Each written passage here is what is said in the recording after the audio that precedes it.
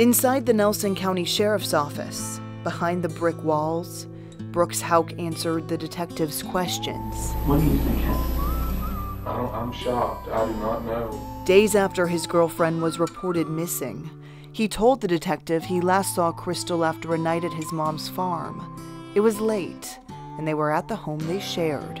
I went to bed immediately. Brooks said he couldn't explain how her car ended up on the side of the Bluegrass Parkway.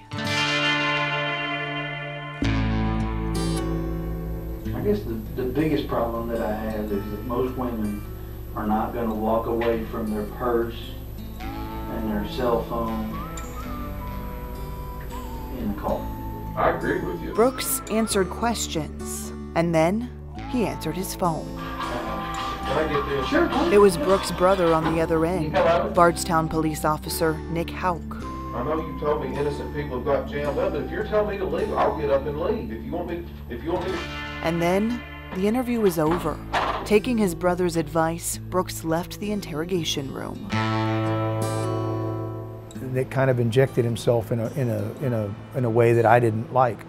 Um, ethics and integrity sometimes are all we have. And um, I didn't think he displayed a good uh, example of either. It didn't sit right with Nick's boss, the Bardstown police chief. And then, when Nick refused to talk to investigators, Chief McCubbin had had enough. But I said, I am going to the mayor as soon as you leave this office, and you are not going to wear a badge. You, you do not deserve to be a police officer. Um, and he was very, okay. I thought, wow, okay. Nick was fired from the Bardstown Police Department on the same day his brother, Brooks Houck, was named the main suspect in Crystal Rogers' disappearance. It was October 2015, and under a different sheriff, though newly elected Sheriff Ramon Pineiroa stands by the naming of the suspect. I would say he's still the uh, main suspect in the case. Um, nothing has changed in, in the investigation that leads us to believe anybody else is uh, the, the main suspect. But Brooks has never been charged. What people don't understand or the misconception is, yes, we can go make an arrest today, but if we don't have what we need, we go to trial and he walks out that same day and says, yep, I did it. You can't charge him. It's double jeopardy.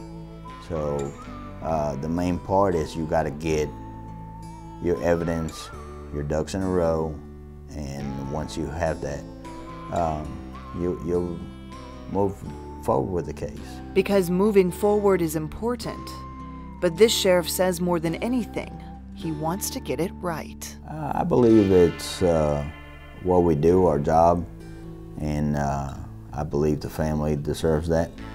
Um, we may not have a body, but uh, at the end of the day, closure for them, um, closure for this town.